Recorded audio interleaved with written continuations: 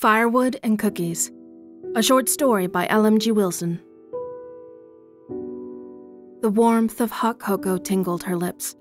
The dark, decadent flavors reached in to coat her mouth and tickle her taste buds with sweet and bitter and the smooth feel of cream.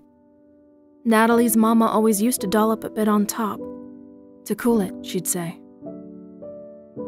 Natalie swallowed as though the sip was real, like her belly was full like the hot cocoa would meet cookies she'd nibbled on while the drink cooled. Always chocolate chunks, not chips. The kind chopped with a sharp knife and mixed into the batter before they'd had time to melt. She loved them, even when Mama sneaked in some oatmeal.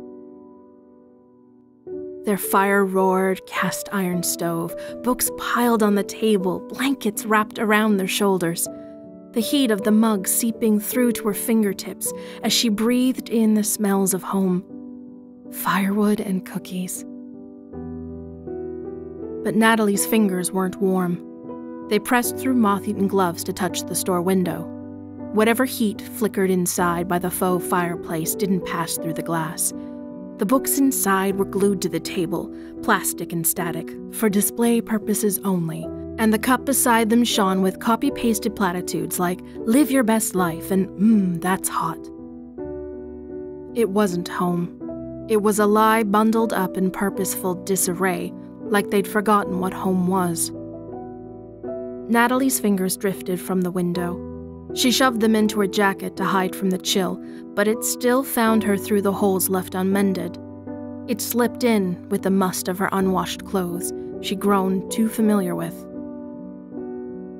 Home was more than a drink, more than a coffee table, more than a saying you slap a price tag on. Warmth, she thought with a shiver.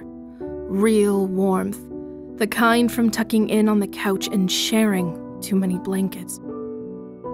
The lights flipped off inside the store as the last of the patrons left, their bags full and their wallets a little lighter. Natalie's pockets were emptier, She'd forgotten to ask for change as the crowd had dawdled out, though in part she knew they'd not stop to share. She wasn't small anymore. Strange how being smaller made you stand out in a sea of faces. With opportunity lost, she remained fixed in her place.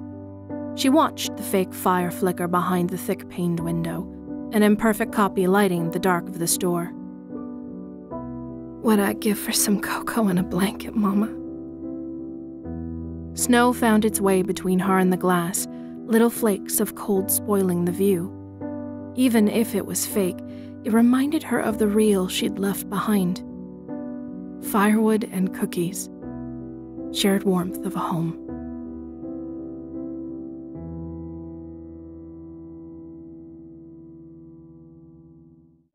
Thank you so much for listening. If you liked this short story and want to listen to more of my narrations, be sure to like and subscribe to stay notified. You can read my work on Reddit or support me by becoming a patron for exclusive early access to stories, serials, and my narrations. All links are in the description below.